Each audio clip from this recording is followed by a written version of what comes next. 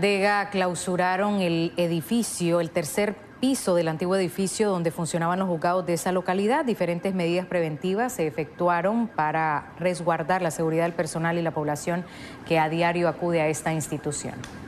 Las últimas réplicas sísmicas han causado preocupación en el municipio de Chinandega. Una de las más fuertes se registró la mañana de ayer miércoles, lo que provocó que trabajadores de los juzgados de esta localidad evacuaran el edificio de tres plantas, ubicado a media cuadra del mercado central. Desde la coordinación de nuestras máximas autoridades hasta las brigadas que se han conformado aquí para dar atención pues en caso de movimientos y lo demás que se pueda ocurrir, pues ellos han estado siempre al tanto y han estado dándonos todo el apoyo necesario. El terremoto del pasado 9 de junio fisuró paredes de este edificio cuya construcción data de hace 50 años.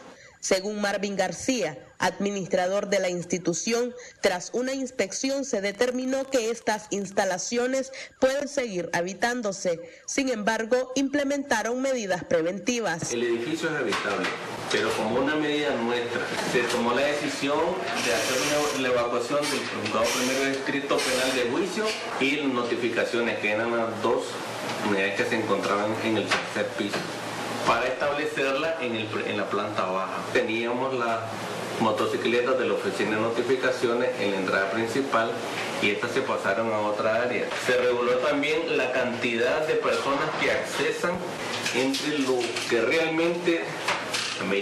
Para tranquilidad de casi 150 trabajadores de la institución y de centenares de usuarios que a diario acuden en busca de justicia, a más tardar en octubre próximo finaliza la construcción del nuevo complejo judicial ubicado en la entrada de las comarcas orientales. Katia Reyes, Acción